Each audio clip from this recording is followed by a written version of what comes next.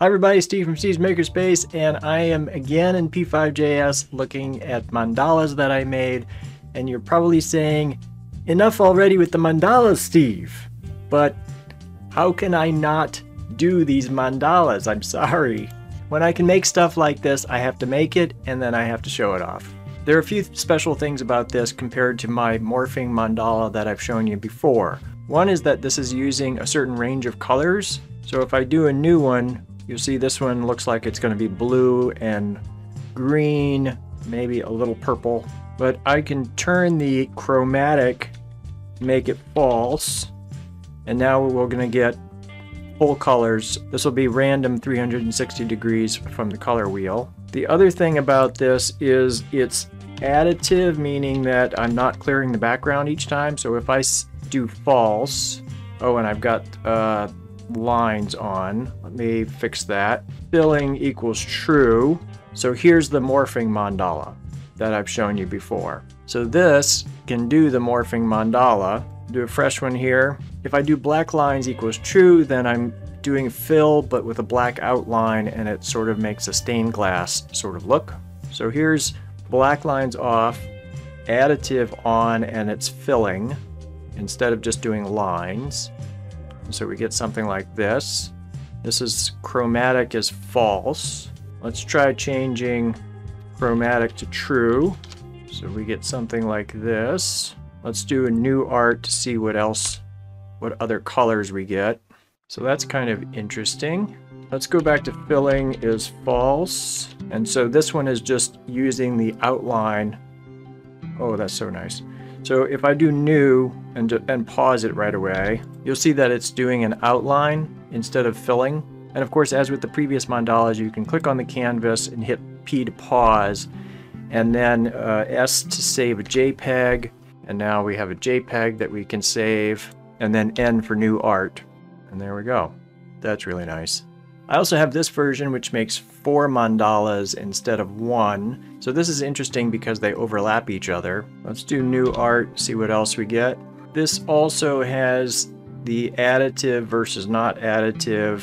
Let's change that to true and we get something like this. Let's do the filling, filling the petals versus outlining the petals. We'll make that false and we get something like this. It's kind of interesting that the outline of the petals, when it's doing that, it actually takes more processing power than to fill the petals. I'm not sure why that is. We can also change this overlapping. So if I do 0.4 instead of 1.9 or whatever it was I just had, it's overlapping more.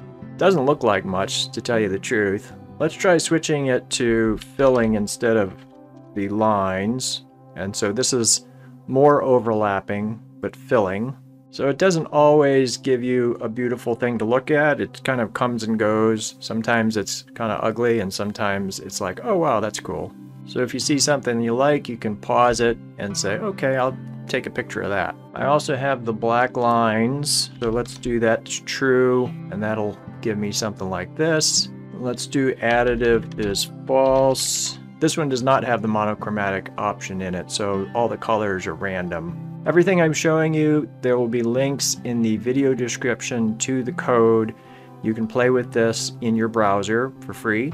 Here's another project I worked on recently. If I do new art and then pause it real quick, where I would normally have one petal, I'm actually having a whole circle of petals. So it's almost a mandala of mandalas. I don't like it quite as much as the other morphing mandalas, but it does give you some interesting things to look at. Let's change monochrome to true, and now we're getting some monochromaticism with this one.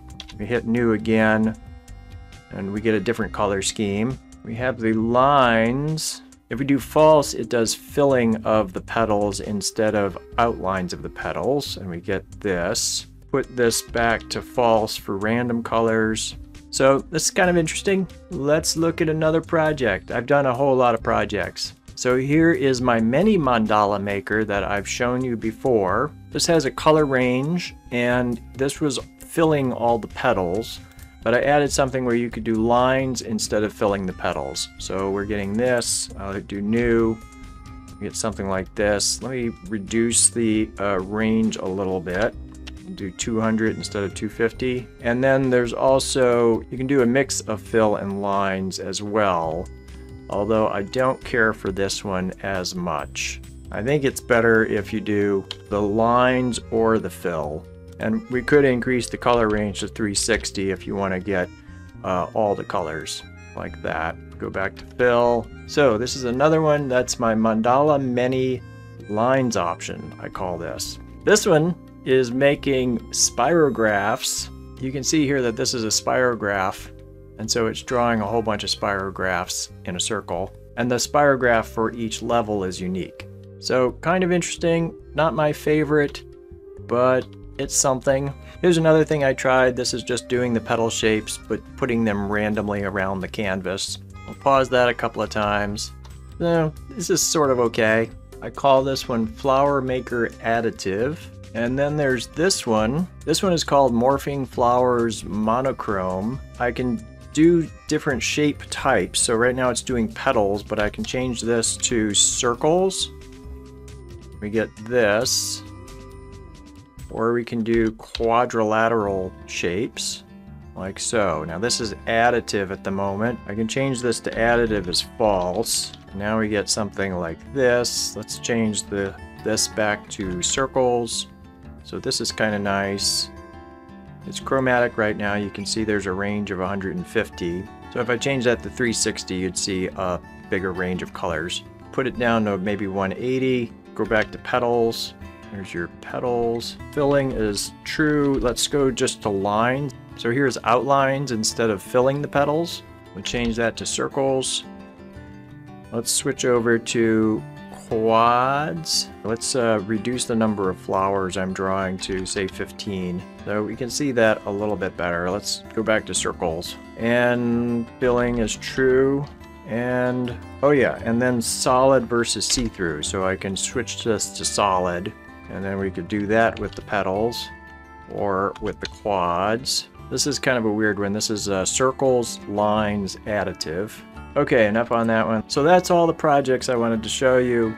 Some of the monochromaticism was uh, a little tricky. That was the, the trickiest bit.